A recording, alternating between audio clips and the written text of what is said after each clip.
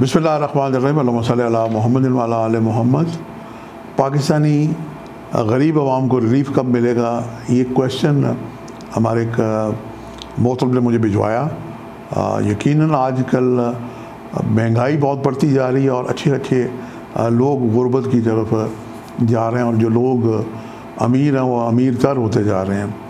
आ, उनकी बात में बड़ा वज़न था और मेरी जो सोर्स ऑफ़ इंफॉर्मेशन है या तो एस्ट्रोलॉजी हैं या फिर परवरदिगार के इसम आज़म है, नाम है, अल्लाह ताला के कुरानी आयात हैं।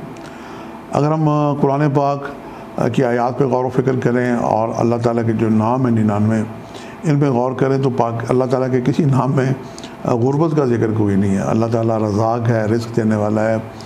और रिस्क की मैं डेफिनेशन एक जगह मैंने पढ़ी तो रिस्क के 313 मानी हैं और सबसे आला जो उसका तर्जमा माना जाता है रिस्क का, वो खुदा की मार्फत है और उसके बाद नंबर दो मोहम्मद आल मोहम्मद की मार्फत है।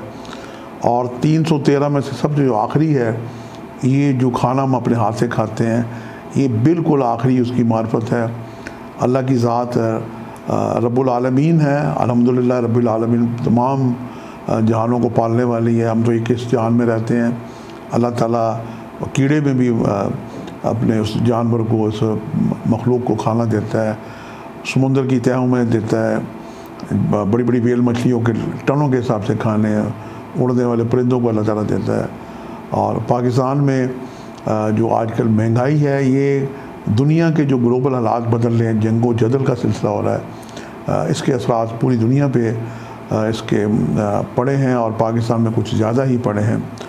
पाकिस्तान और दुनिया में जो ये हुकूमतें बदलती हैं, हुकूमतों के आने जाने से, और पाकिस्तान और दुनिया का एक माशी निज़ाम है इसके बारे में आईएमएफ पाकिस्तान कह लें जूस कह लें यहूदी कह लें, इन्होंने बैंकिंग का निज़ाम मुतारफ़ कराया और सूदी निज़ाम मुतारफ़ कराया, जिसके बारे में परवरदिगार ने बताया कि सूदी निज़ाम से बचें और लेकिन हम, हमारा मुल्क, हमारे बैंक और जितने इदारे हैं, किसी न किसी हवाले से, अगर आपके बिजली का बिल भी जनाब, अगर आप लेट एक दिन भी अदा करें तो जनाब वो एक फर्दर उसमें वो सूद इजाफा हो जाता है, जुर्माना लग जाता है। तो बात हो रही थी, गुर्बत कैसे ख़त्म हो सकती है? गरीब आवाम के बारे में क्या गौर फ़िक्र किया जा सकता है? आज मैं पाकिस्तान के जायचे के तहत और रूहानी तरीके से तहत आपको कुछ नुकात हदिया करने की सादत हासिल करता हूँ। अल्लाह करे कि ये मेरी बातें आपकी फहम फरासत आपके दिल में उतर जाएँ। कम अज़ कम यह है कि आपको जहनी सुकून तो इससे मिल सकता है। इर्शाद बारी ताला और अल्लाह ताला के जो रसूल हैं, उनका इरशाद है, हदीसें हम सभी मोहम्मद वाले मोहम्मद और रसूल खुदा से मोहब्बत करते हैं, हर उस सुन्नत को अपनाते हैं जिसे अल्लाह ताला ने, अल्लाह के रसूल ने हुक्म दिया रमज़ान में मगर खजूरें खोलते हैं, खजूरों से रोज़े खोलते हैं तो इसे भी हम सुन्नत रसूल खुदा ही कहते हैं। और इरशाद नबवी है कि आपके दाएँ बाएँ अगर कोई शख्स मुखस होता है तो आप ख़ताकार हैं। और हमारे जो आठवें इमाम हैं, इमाम अली रज़ा मशद खरासान में जो उनका मज़ार है, एक सौ दस एकड़ और उनका लकब है गरीबुलगुरबा गरीबुलगुरबा कहते हैं जो बंदा अपने वतन से, सादात का वतन था मदीना, और वहाँ से जब सादात हिजरत करके निकले तो दूर दराज इलाके ईरान में पहुँच गए तो ये गरीबुलगुरबा शायद इसी वजह से उनका लकब है। वरना आप जाएँ तो मौला इतने अमीर हैं कि उनके नाम पे जनाब बाज़ार है, उनकी फैक्ट्रियाँ वहाँ काम कर रही हैं, और इमाम के नाम पे जनाब वहाँ पे रेस्टोरेंट हैं, खाना मिलते हैं जनाब अगर घर पे कोई जाए। और मौला का ये लकब है, सिक्के मिलते हैं बरकत के लिए। तो अल्लाह ताला के जो नाम हम देखते हैं तो किसी नाम में कोई ऐसी गुरबत वाली बात नहीं है। अल्लाह ताला सबको रिस्क देता पालने वाला। अल्लाह की ज़ात है। पाकिस्तान के जायचे के तहत हम देखते हैं कि सितारा जोल, जायचे के दसवें घर में चल रहा है, ये जनवरी 2023 से मार्च 2025 तक रहेगा पाकिस्तान का निज़ाम बदल रहा है। और उसके बाद पाकिस्तान का एक अच्छा दौर जोल का महादशा शुरू हो रही है। ये यकम दिसंबर 2024 से शुरू हुई और 19 साल का ये दौर है ये दिसंबर दो हज़ार तैंतालीस तक रहेगी तो पाकिस्तान का निज़ाम बदलने से पाकिस्तानी जो माशी सिस्टम है ये भी बदलेगा और जो गुर्बत है एक इस, इसमें कमी किसी न किसी हवाले से होगी या लोगों का ज़रा आमदन इतने बढ़ जाएँगे कि लोग अपनी ज़रूरियात ज़िंदगी ख़रीद पाएँगे। अभी हम जंजानी जंतरी 2024 की तैयारी कर रहे हैं। जंजानी जंतरी 2024 का मैं वर्षफल देख रहा था तो बड़ा एक मज़बूत रायचा है। तो गरीब आवाम को रिलीफ वैसे भी किसी न किसी हवाले से हुकूमत, जो भी वक्ती की हुकूमत होगी, वो अगर नहीं भी देती तो खुदा की ज़ात रजाक है, पालने वाली है। तो आज मैं एक वजीफ़ा ये करने की साथ करता हूँ कि आप या रज़ा को या रब या रज़ा को सुबह की नमाज़ के बाद तीन सौ तेरह दफ़ा बल आकर ग्यारह ग्यारह मरतब दोषी पढ़ के पढ़े अल्लाह ताला रिस्क कुशादा करेगा आपका। आ, उसके बाद असफ़र रबी बिन कुल ज़मीन वतुबलाई तोबा इस्तफार की कोई भी आज पढ़े तो उससे भी रिस्क कुशादा होता है।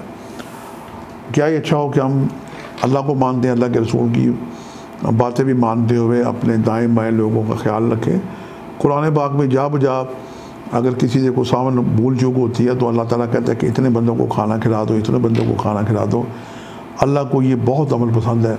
अगर हम एक दूसरे का ख्याल रखें तो यकीनन इससे गुरबत अफलास में भी कमी आएगी और अल्लाह के दिए हुए माल से हम खर्च करते हैं। अल्लाह पाक आसानियाँ ता करे और अव्वल वक्त सुबह तलु सहर जब अजान होती है और तलु आफ्ताब तक ये अव्वल वक्त कहलाता है। और ये अव्वल वक्त मनसूब है मौला कायनात अमीरमिन से। खुदा के हुक्म से वो रिस्क बांट रहे होते हैं नियमतें बांट रहे होते हैं। जो लोग सुबह उठ के थोड़ा सा हिम्मत करें, फजर की नमाज़ अदा करें ताजद की नमाज़ अदा करें, और इस वक्त में अल्लाह ताला के नाम की तस्वीर करें यार रज़ाकों की। यार यार रज़ा को या रब या रज़ाकों की वो तस्वीर करें तो हैरत अंगेज़ तरीके से उनके रिस्क माल में भी बेहतरी होंगी और रिस्क शादा होगा गैब से उन्हें रिस्क मिलने लगेगा। और पाकिस्तान का जो अच्छा दौर है, ये उन्नीस साल दौर मैं देख रहा हूँ एज एस्ट्रोलॉजर ज़िंदगी बहुत ही एक यानी पायदार नहीं है। बस मैं लफ्ज़ मेरे जेल में मुनासिब नहीं आ रहा था कुल्ल नफ्स मौत। ज़िंदगी रहे या ना रहे, लेकिन ये मेरा प्रोग्राम जो इस प्लेटफार्म पे आ रहा है, आप इसे रखिएगा। पाकिस्तान का जब अच्छा दौर आएगा तो पाकिस्तान में खुशहाली होगी। पाकिस्तान में मादनियाती ज़ख़ायर निकलेंगे।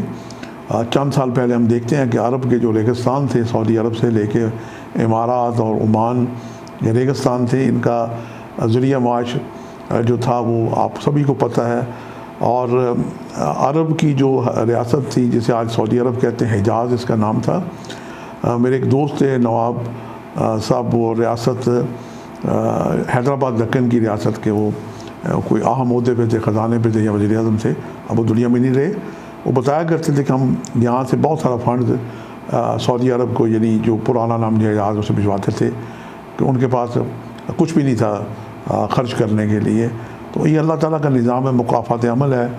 तो आज पाकिस्तान को ज़रूरत है, पाकिस्तान बहुत ही जरखेज़ मुल्क है।